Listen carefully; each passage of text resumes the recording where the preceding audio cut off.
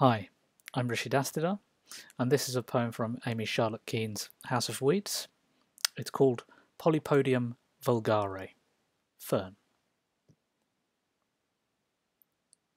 As a youth, you'd never wish to be that creep, that shady character. The moment you realize I am him, you twig and lift, black stalks outgrowing.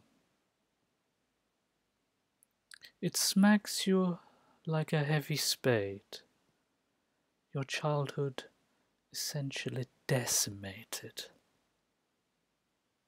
Yet you creep further to the dullest, harshest corners and thrive there.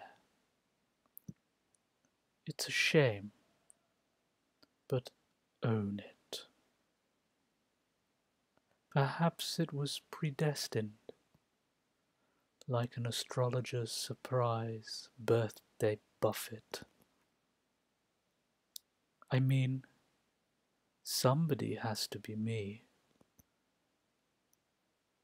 How would the rest of you feel normal?